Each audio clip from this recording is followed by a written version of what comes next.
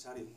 Pero sí que en el circuito este que hay en España de baterías, que es cojonudo, eso es verdad, eh, no hay festivales de guitarra en España, ni de bajo, ni de violín, ni nada.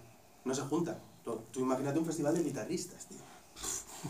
Madre mía, se están sacando la polla todo el rato. Ay, la grande, ¿eh?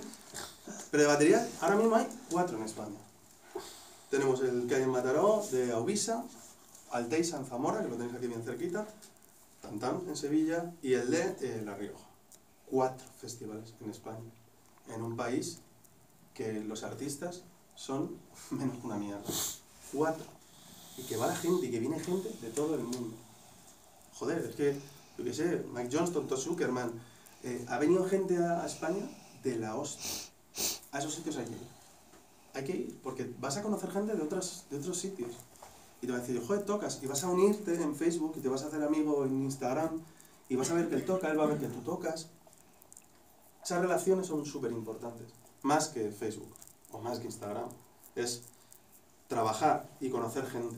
Y saber qué se está haciendo. Qué movidas están tocando. Eso es súper importante. Y en España es cojonudo.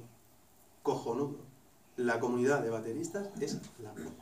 O sea, vosotros, ¿cuánto me dijiste que sois en el grupo este de Valladolid? ¿80, tío? 80 personas por ahí, sí. En el grupo de WhatsApp. Tenemos un grupo de WhatsApp. Eso es la polla. Eso es la polla. Y que tengáis aquí a Ley que mueve cosas, porque parece que en España, o es en Madrid o en Barcelona, pues no hay nada. Madrid no tiene festival de batería. Y el mejor del mundo está en Sevilla mejor festival que se hace, y no lo digo yo, ¿eh? que lo dice gente, de artistas que han venido aquí, dicen que es uno de los mejores. Si no habéis ido, os lo recomiendo. El buen rollo que hay ahí es cojonudo. Vas a conocer a gente, vas a poder mm, verlos súper cerca a los artistas y sobre todo hablar con ellos y preguntarles. Eso es lo mejor. Pero eso se, se logra saliendo de tu puta casa. Saliendo de tu puta casa. Estamos tan acostumbrados a ver las cosas en streaming, en directo, y yo soy, y vuelvo a decirlo, nosotros tenemos un canal en YouTube, y que yo esté diciendo que hay que ir a conciertos, es como, tío, si tú todo todo lo haces en YouTube, ya, pero es que yo esto no lo puedo hacer todos los días.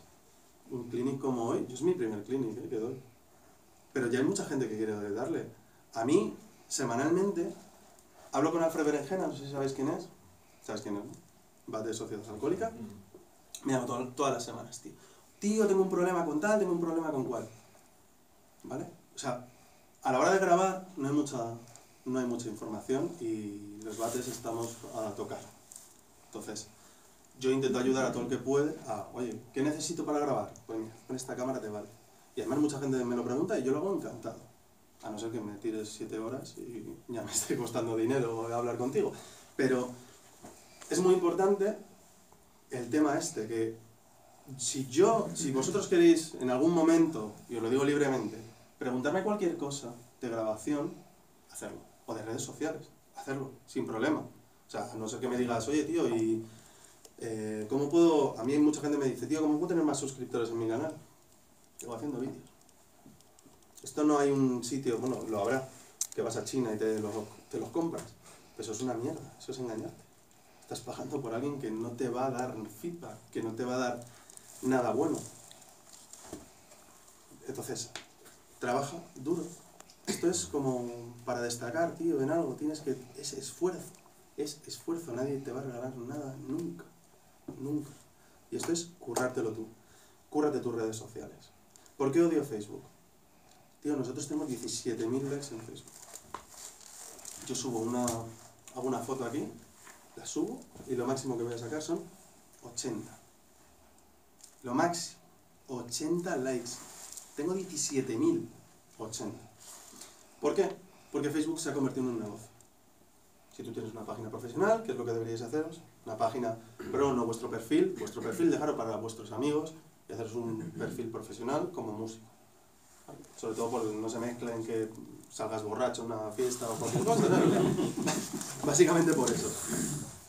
Y, ahí veréis que cuando salgáis vuestro perfil profesional, cada vez que publiquéis algo, te va a salir un botón que se llama promocionar. Y si no le das a ese botón y metes dinero, nada de nada. O sea, nosotros llegamos a hacer una movida para que la gente compartiera los vídeos